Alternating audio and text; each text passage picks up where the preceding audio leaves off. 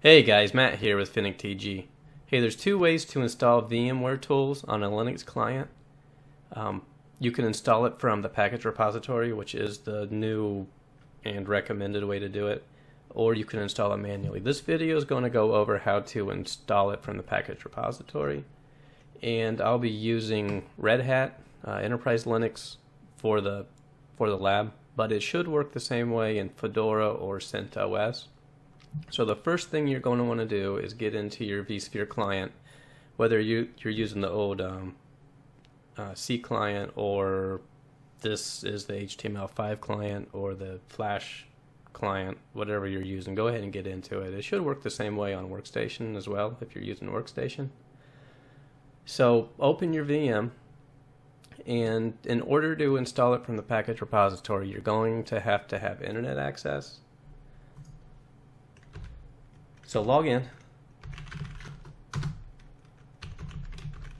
And then I'm just going to test that we have internet access. So I'll just go ahead and I'll ping Google.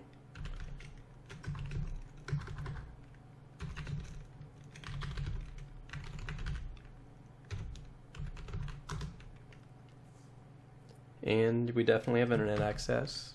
So before you install a package, it's always recommended that you run um, the updates on the repository.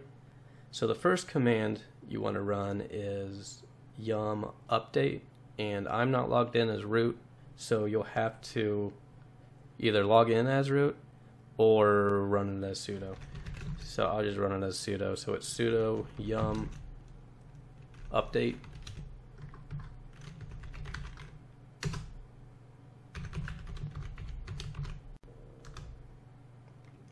and if it's a new VM, this will probably take a while. Um, I've already ran the update, so it should run through pretty fast for the video.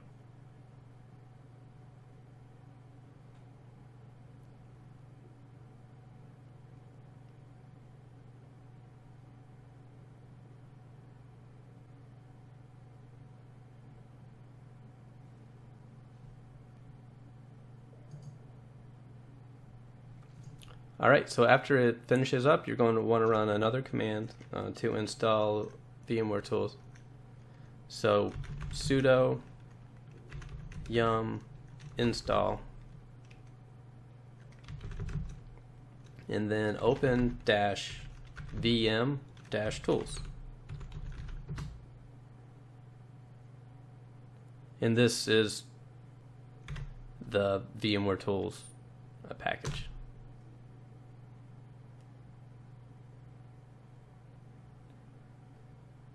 So that that's really all there is for the install. So once it's installed, um, vSphere still won't recognize it. So if you go back to your vSphere client, you'll see that it says it's still not running, not running, not installed. In order for it to register, you're going to have to restart it. So you can just run the command sudo shutdown.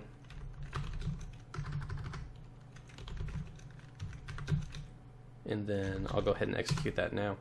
So it'll go ahead and restart.